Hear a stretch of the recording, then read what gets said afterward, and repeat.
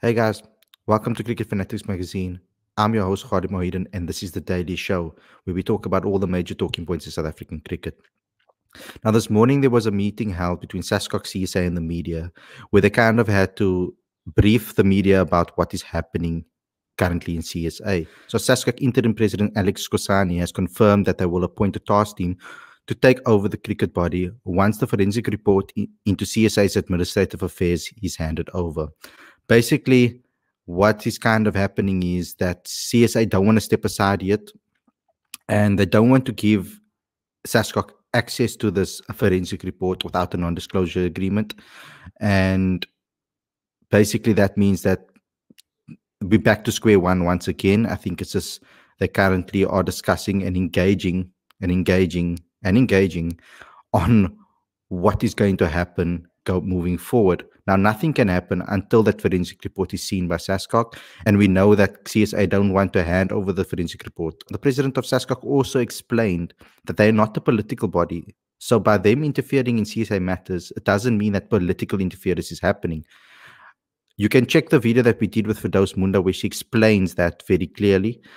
So that means that there's no political interference, and that means that the ICC can't get involved by banning South Africa from international cricket. But if the government does eventually get involved because of everything that is currently happening, then the ICC can step in and they can ban South Africa from international cricket. So, my observation of everything is that we can't go forward and have cricket in South Africa or international cricket in South Africa until SASCOC and CSA clear up all their issues. So, there have been some reports that England will come to South Africa for three ODIs and three T20s mid November until early December, um, with most of the games happening in Cape Town and in Paarl at Boland Park. But I don't think this can happen until everything is sorted out. So that's kind of stalling everything that's going forward. Now it's a, a, pity because South Africans obviously want to see cricket, and I know that the local public wants to see cricket, and we want to see South Africa back in action again. So what I'm going to do for you guys is I'm going to show you a little bit of, of the press conference and give you some insight into what happened in this press conference. I see Firdose, you've got the first question. You can go ahead, Firdose. Thanks, KK. Uh, this is to either president, but I guess more to the president of SASCOC. When do we expect the task team to be appointed, and when will the board and executive of CSA need to step aside? Well, thank you very much. As soon as we receive the report, we will be able to announce the task team. We cannot be able to put the cart before the horse. And remember, the purpose of the task team is to access uh, the forensic report. So it is, it is prudent to not appoint people when we have not received the report. If we receive it today, I can promise you by Monday we'll be announcing to the public who will be the members of the task team with the, one that will be given by cricket to add on, on the members that will be appointed. Cricket South Africa should step aside once we appoint the, the task team so that they can be able to be available on, on the basis whenever we need them and the staff and they can still be in those offices they can be anywhere they want to be but we want them to step aside but we don't want the cricket to, to collapse. We want the unfettered access to things that may be contained in that report and including them when we say there is something here, acting president or members of the board, whether you are independent or fully uh, coming from the members' council, including staff. As soon as the report gets to us, the process will begin and we'll update you with Cricket South Africa on, on, on, on a day to day basis. And especially the cricket acting president will work alongside with me on ensuring, in ensuring that uh, the public is informed as it is important for the public to be informed on, on a daily basis. Thank you. Thank you, Babs Kosan. Ken, you've got a president, uh, you've got a question for Mr. Beresford. You can go ahead, Ken. Yeah, thanks. Thanks very much, KK. Um, Sorry, if I could just first fo follow up with Mr. Skhosana, though, from what he's just said. Um, could you give us some sort of reasoning behind um, the task team only being appointed after you've seen the forensic report. Um, I mean, that could affect the, um, I guess, the, the, the, public view of how independent that task team is. If you, if you know, you look at the report first and then appoint a task team. I, th- I think Ken is like the question of a chicken and the egg. What if we appoint uh, the task team before we have received the report? And what is it that we, we are going to say we're appointing them for? We may appoint the legal instead of appointing the accountant. So we must get the report and read the summary, and the summary will inform us what kind of critical skills are needed so that they can be able to zoom into, into a report. We don't want to put the cart before the horse. We are not, we are not determined and destined to, to do things in the wrong way. That is what the board of SASCOC has resolved, that let us get the report. Once we get the report, we will be able to identify the type of skills that are required to zoom into the report. Thank you very much. Thank you, Kosan. Ken, do you still want to ask a question to Mr. Williams before I move on? Yes, yes, please, KK, just whether CSA are going to comply with what SASCOC have said there. Thank you, Ken. Um, let me let me reconfirm our position. As I said, that we are in engagement with SASCOC. We've been engaged with, with and we continue to engage with SASCOC. Cricket South Africa had responded in detail um, to, to SASCOC uh, around our posi- position. Um, and I also want to, to, to state clearly that we, we have a fiduciary duty uh, um, to cricket as board members. And what has been resolved unanimously by the Members' Council, the highest decision making body, that they would, one, um, that the report that they've received, the forensic report that our Members' Council received, would also be made available to SASCOC under the same conditions. Now, having said that, at this point, we continue to stay committed to the dialogue and engagement, and we even we, we, we offered and committed to make the summary report available. Um, we would provide the necessary breakdown uh, by our uh, legal representative, and that opportunity will be presented to SASCOC board. So, in terms of the report, we're clear that that the report um, has been offered and we had communicated with SASCOC um, a day ago, and we look and we wait. Um, we await their, their formal feedback. But at this point, we are continuing to be committed to the process we're in with SASCOC, and, and we have provided um, certain recommendations that we believe, as a collaborative approach, we could advance and, and uh, not necessarily look at other interventions should we not find common ground and, and a common solution. And we as Cricket South Africa are working through, through, through our structures to make sure that cricket is played in the country and that we, we deal with the, with the issues around um, governance and, and, and making sure that we, we, we fix what is, is wrong. Um, but at this point, um, I'd like to stick to the fact that we, we are engaging and I would not want to undermine that process in any way. Um, but we have served our clear intentions of how we see the journey going, and that matter we can talk talk about with SASCOC. Thank you. Thank you, Mr. Williams. Uh, Shoni from ENCA, you can ask your question, okay. please. I have a question for both Mr. Williams and Mr. Skhosana. Maybe to Mr. Williams first. Um, Mr. Skhosana's statement mentions that um, uh, the former president had promised the Sports Portfolio Committee that the report would be made available in June already. And it's something that um, Mr. Nenzani had committed to at that point to the media as well. Why exactly has there been a delay in releasing the report? And then my question to Mr. Skhosana is, um, you mentioned um, that obviously SASCOC has a right to, to get involved in this matter as per the National Sport and Rec Act and SASCOC's own constitution. That's well covered in those two um, documents. But um, how does SASCOC respond to people um, asking why SASCOC, with its own issues and with its own outstanding um, recommendations from the 2018 SASCOC inquiry, is getting involved in this matter when they also have their own um, matters to address? Mr. Williams, you can go ahead first, sir.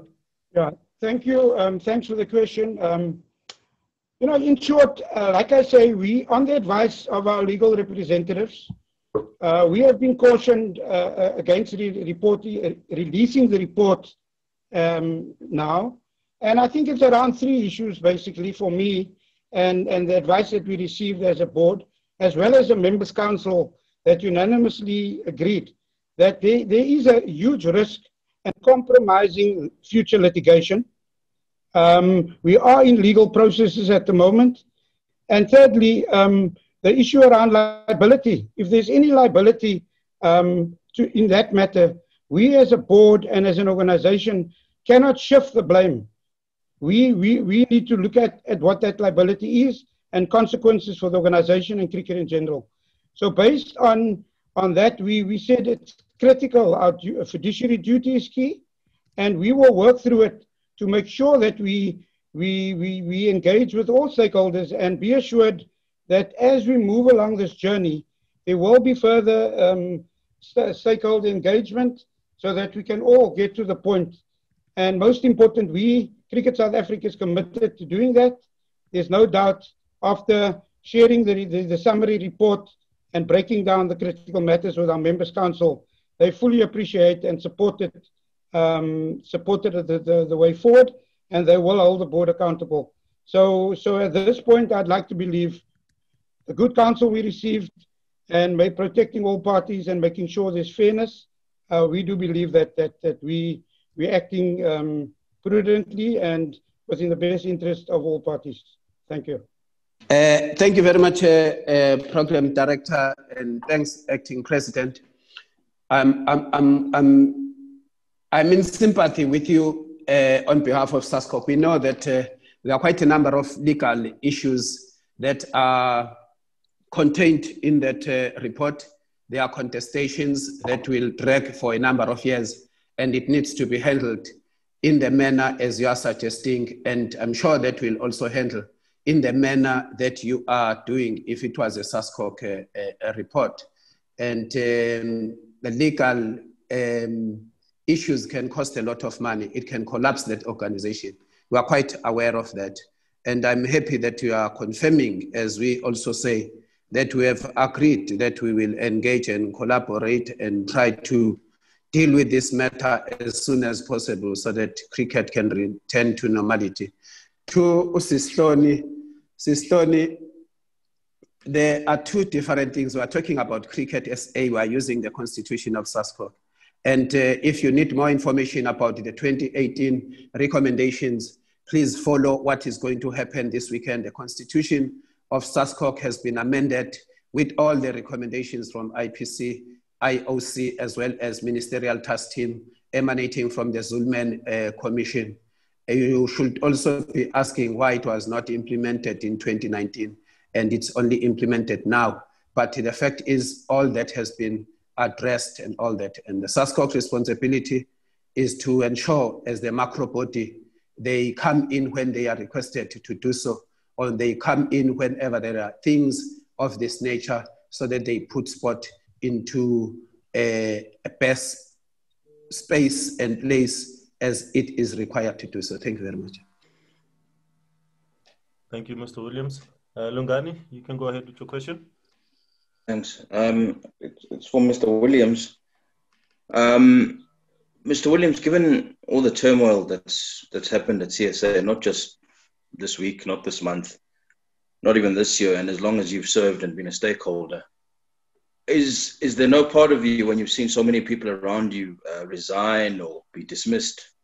Is there no prick in your conscience that says maybe it's time for you to consider why you're still in the game yourself, given that you're one of the longest serving uh, of the board members. Um, why do you still uh, feel that, given the weight of public opinion and media opinion about the board perhaps being dissolved and starting afresh, why do you feel that you still need to have a finger on the cricket pulse? Yeah, um, thank you. Thank you very much. Um, let's put it this way. I, at the point I considered uh, all things equal, I took a decision that either I, I, I move on or I continue to serve. And uh, I took a decision at the time that I would continue to serve the game that all of us love, that I'm passionate about, and I've been a servant for the game at, at, at various levels. If there was anything that, that I had, that I believe where I've acted irresponsibly or not in the best interest of the game or as a director, I would have had no hesitation um, to have moved on. So I believe that, that one, I'm still committed, I'm passionate, and I believe I can still contribute uh, to the game and serve the game. So um, I chose not to go. And, um, you know, in, we, we as a board, we as a collective leadership um, had dealt with matters head on. And I do believe we're moving forward as a collective. And um, the commitment is there to deal with it. Um, and I think as we move along, we will start recreating um, the confidence and the trust. And um, here, henceforth, I have I've said that if we able to deal with the report in its entirety with our with our um, esteemed uh, leadership at SASCOC, I do believe then on an informed basis, um, decisions could be made. So that is my, my position for now. I'll continue to serve. And until such time that the Members Council decides otherwise, I'm, I'm committed to serving cricket and our country. Thank you. Thank you, Mr. Williams. We've got uh, just two more questions uh, in this session. Uh, Craig, you can go ahead. Hi, uh, good, uh, good morning, everyone. Uh, I, I, just would like to um, clarify something. Um, excuse me. SASCOC are saying they want the full report, and CSA are saying they legally can't release it. So it seems to me, if I understand that correctly, that's uh, Mr. Skhosana is saying you want the full report for SASCOC. CSA are saying they cannot legally release it. It seems to me like we're in an impasse. Um, it seems like we're heading to a court case here because um, unless I'm misunderstanding you, there seems to be two camps that have dug in. We want this, and the other camp is saying we don't. We're not going to give it to you. Am I correct? I just want to clarify that, please. Mr. Williams, you want to take that first, and then Baba Skhosana next. Okay, I think I just want to reconfirm that we, as we speak, Cricket South Africa and SASCOC are still engaging we're still talking to each other. Um, and, and I think, and, and uh, I just want to say that we've, we've, we've, we've continued to communicate. We've given, up until yesterday, we have still communicated with SASCOC. And I'm confident that we, we, can, um, we can engage on those issues and move forward. Uh, Craig, I, I, don't know whether you are reading too much into this uh, or you want to the end of this.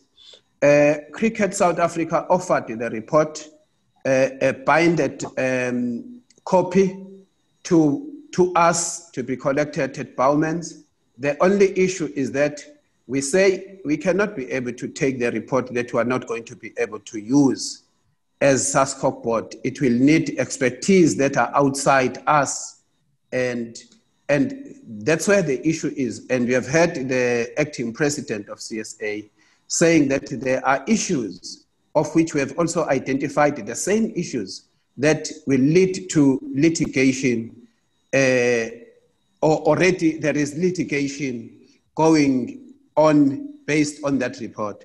So, so I'm sure that both of us, as entities and organizations, as leaders, we will find a solution to that because a solution needs to be found, and there is no other way other than to find a way that will accommodate SASCOC to put the task team. And the benefit of the task team, Craig, it will come to you independent from SASCOC, independent from CSA, and say what we were told is true or not true. And we put forward the following recommendations in order to restore. And here is the time frame for Cricket South Africa to implement those and here are the people, I assume, who will be able to monitor and come back and report to them.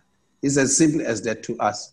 It's, we don't have any interest. We want to be as far as possible. We want to get in and out and continue with our work. There are many other disputes in SASCOC's uh, federations that we have to deal with. We don't want to camp and sleep at, uh, at, at, at uh, CSA on a daily basis. We don't want that. We believe CSA leadership knows that they need to run with the issues after, after we have assisted them. Thank you. Thank you, Craig. Let me move on. Zahir, your turn to ask a question. Uh, Mr. Shana, I have two questions for you. Just um, as my understanding is that SASCOC met with the Honourable Minister yesterday. Um, how, how did that meeting go and what was the what was the feeling of the minister regarding SASCOC being involved in Cricket South Africa and, and wanting to appoint the task team? What was the what was what was the minister's feelings yesterday about about that? Now, thank you very much. The meeting went very well with the minister. He wanted a brief of where we are with these matters as he read in the newspapers. Remember, when he met with the minister, he said he wants to be far away from uh, the sporting bodies, disputes, and all that. The body that can deal with that in terms of the act is SASCOC itself. So he wanted that brief, and we gave him that we have met with the, with the colleagues from cricket and we are making progress. And I'm sure he was, he was quite happy that uh, we are handling the matters rather than to leave the matters out there in the public and, and get a, a fuel and, and spread like wildfire up to a point that cricket will be ungovernable and all that. So we, we shared and we said, this is what we are doing. And today we'll be meeting with our colleagues uh, Mr. Beresford and uh, his team to have a joint press um, statement as we are doing. So the minister was, was quite happy and he will watch from the news then up to next time when he calls us to say how far you are. Thank you. Telford, you'll take the last one for this first session. Um, Mr. Williams, um, that part of the world that's not crying about South African cricket is laughing about South African cricket how do you not how do you sit there and not accept that your last shred of credibility as a board hangs on releasing this report? How, how, how can you not see that? Alfred, uh, um, as I, as I um, shared with you this morning, um, we will we engaging. We want we will engage with SASCOC around the report. To the other key stakeholders, we will engage our stakeholders, and we're advancing down that road. And um, I've, re, I've referred to the, the risks and our duties as board members and important around liability. But be assured that we will, we will engage further with our stakeholders, whether it's the players, whether it's the staff, whether it's our sponsors and the media, we will engage with, with you. And um, as the journey unfolds, we will, we will engage further with the media um, and our other stakeholders. So at this point, I'm, I'm almost appealing that our meeting with SASCOC around the report would be a good opportunity to, to get a perspective from our, our principal, and uh, we'll move forward in that regard. Thank you. So thanks a lot for watching, guys. I want to hear what you guys have to say. What do you make of all this evidence? We do have an article on the website that kind of shows you what has transpired in the in the media and what has transpired in the meeting and the press conference on cricketfanaticsmag.com. You can have a look at all of that. It's a, it's a little summary of everything that is happening and a few tweets from some top journalists in the country. Thanks a lot, guys, for tuning into this episode. We want to hear what you guys have to think. Obviously, don't forget to like, comment, share, subscribe, click the notification bell for future videos. Also, don't forget to download the latest issue of the magazine. The link is on the screen and in the description. Thanks a lot for watching, guys, and I'll see you guys very, very soon.